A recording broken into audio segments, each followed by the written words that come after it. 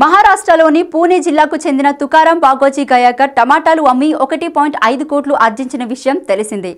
అయితే టమాటాలు అమ్మి మహారాష్ట్ర రైతే కాదు తెలంగాణ రైతు కూడా కోటీశ్వరుడయ్యాడు. నెల రోజుల్లో టమాటాలు అమ్మి ఒకటి పాయింట్ ఎనభై నాలుగు కోట్లు సంపాదించాడు. ఆయనే మెదక్ జిల్లా కౌడుపల్లి మండలం మహమ్మద్ నగర్కు చెందిన రైతు బౌన్స్వాడ మహిపాల్ రెడ్డి. ఆయన తనకున్న అరవై ఎకరాల్లో కూరగాయలు పంట సాగు చేస్తుంటాడు. అయితే మైపాల్ మూస పద్ధతిలో కాకుండా ఆధునిక పద్ధతిలో కూరగాయలు పండిస్తుంటాడు.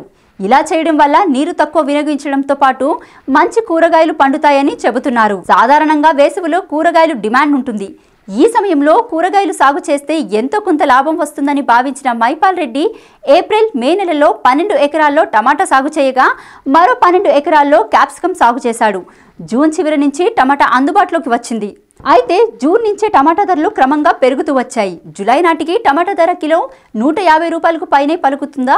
మైపాల్ రెడ్డి టమాటాను హైదరాబాద్లోని బోయిన్పల్లి షాపూర్ నగర్ పటాన్చెరు మార్కెట్లో తీసుకొచ్చి విక్రయిస్తుంటాడు. ఆయన ఈ నెల రోజుల్లో రోజుకి రెండు వందల యాభై బాక్సులు అమ్మినట్లు చెప్పాడు. ఈ నెల రోజుల్లో మొత్తం ఎనిమిది వేల టమాటా బాక్సులు విక్రయించినట్లు తెలిపిన మైపాల్ రెడ్డి సగటున బాక్స్కు రెండు వేల మూడు వందల చొప్పున ఇప్పటి వరకు ఒకటి పాయింట్ ఎనభై నాలుగు కోట్లు వచ్చినట్లు చెప్పాడు. టమాటాలు ఇంత ధర పెరుగుతాయని అనుకోలేదని మైపాల్ రెడ్డి చెప్పారు. వేసవి కాలంలో కాస్త ధరలు పెరుగుతాయని భావించి టమాటా సాగు చేస్తున్నట్లు తెలిపారు. పందిరి విధానంలో టమాటా సాగు చేసినట్లు పేర్కొన్నారు. పంటకు డ్రిప్ సిస్టమ్ ద్వారా నీరు అందించినట్లు చెప్పారు. టమాటా పంటకు ఎకరాకు రెండు లక్షలు ఖర్చు అయినట్లు తెలిపారు.